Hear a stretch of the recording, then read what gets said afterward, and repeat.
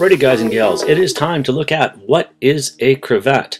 Now I know most of you already know what it is, but for the few of you who are just joining us, it's where the wingtip actually gets tucked inside the lines of the paraglider. And a special thanks goes out to Airy in the Air and Fly with Greg for sharing the images. And the next question I get is, how and why does it happen? Alrighty, a cravat happens when some of your wingtip fabric falls inside of your lines when there is less tension on your lines, then gets stuck in there when your body weight regains tension on those lines that are now surrounding your wingtip fabric. A cravat happens usually after an asymmetric collapse, after a frontal collapse at the time that a wing over does not go so well, and you get a deflation, or after a stall. Most commonly, pilots launch with them because of a line over a wingtip was not noticed before launching.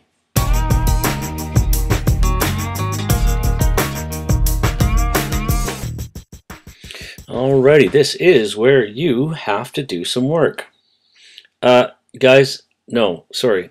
Videographer's getting carried away here. Not that kind of work.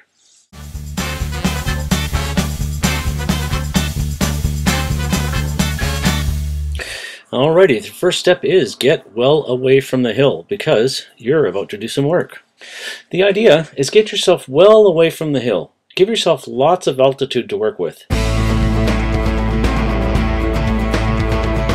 Well, first question we have to ask ourselves in this case is how big is the cravat? What is the weight shift amount needed? How much weight shift is needed to fly straight? Use a 100% if necessary.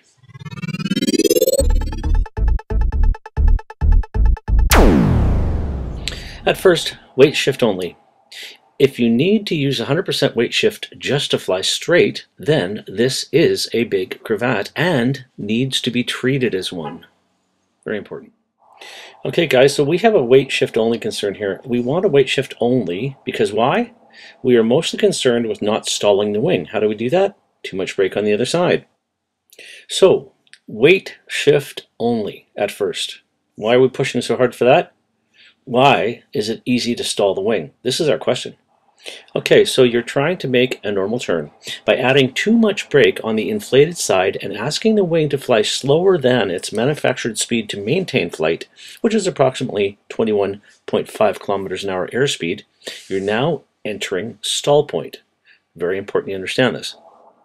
Alrighty, let's use this illustration for a moment. Let's talk about airspeed. Notice in this illustration that when your hands are up and the wing is flying in normal condition, you have 38 kilometers an hour of airspeed on both sides. Okay, looking at this next illustration, let's talk about airspeed for a moment. For this example, let's say that you have to slow the inside wingtip of your glider by 10 kilometers an hour to do a figure eight turn on your base leg before setting up for your final. This is normal. Okay, now what if your cravat is slowing the airspeed across your right wingtip down to 28 kilometers an hour? And you have to do a left figure eight turn on your base leg.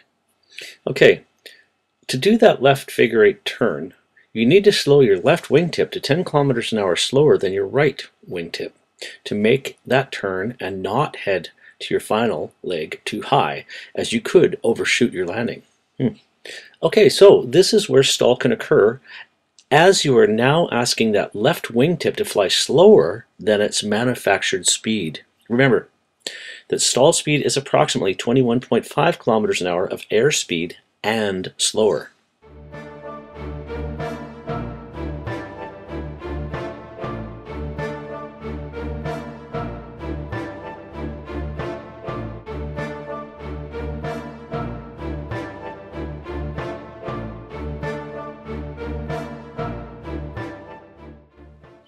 Okay, if you have to add brake with 100% weight shift just to fly straight, number one, you can't land with it. Number two, you must fix it or get over the grass and throw your reserve. Number three, prepare for a PLR.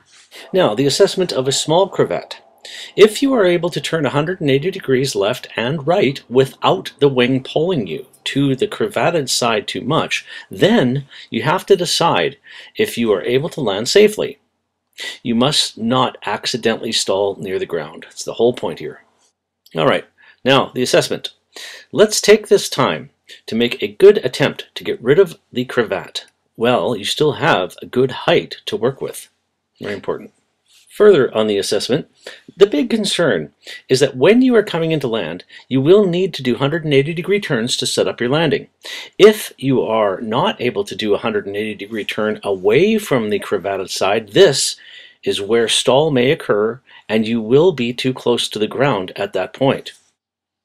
Alrighty, going back to an earlier slide, let's do what we can, shall we?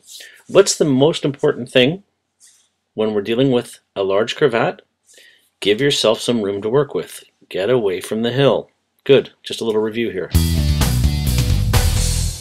All right, so remember, always stay focused on your direction, breathe, and recall this information when needed. Maybe watch this video a few times to make sure you know the steps.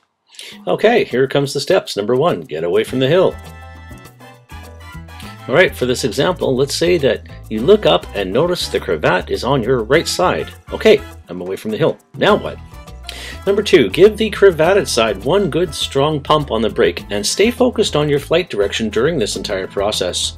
Take a quick look up and try another one or two if it's working.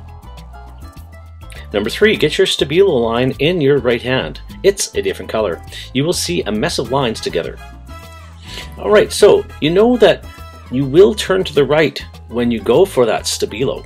So best to put your left side towards the hill.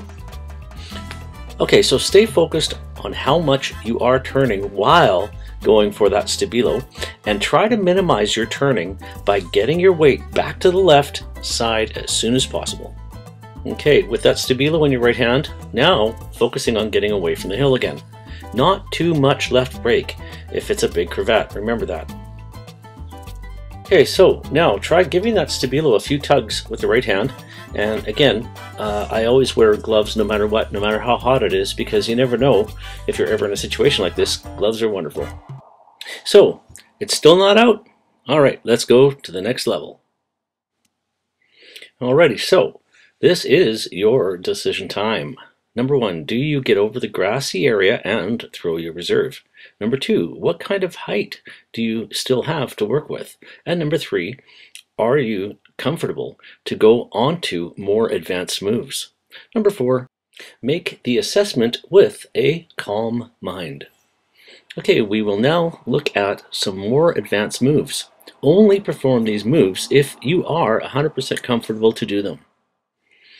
All right, number four, advanced moves. Transfer that stabilo from your right to your left hand and keep direction in mind with weight shift.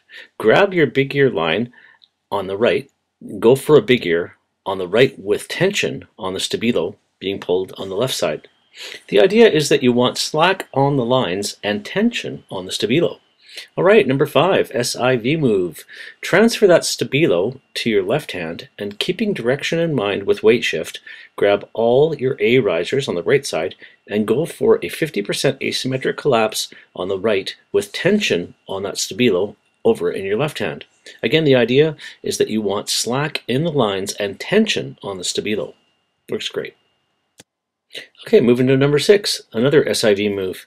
Transfer that stabilo to the left hand and keeping direction in mind with weight shift, go for a deep stall. Then hands up to 75% and let the glider dive forward, slacking the lines. The tension is going to be on the stabilo again and works great. Again, I have to mention, guys, there's absolutely no chance in the world that this is going to replace real quality instruction from an instructor in your area. These are just some extra points you can use, providing you've done an SIV.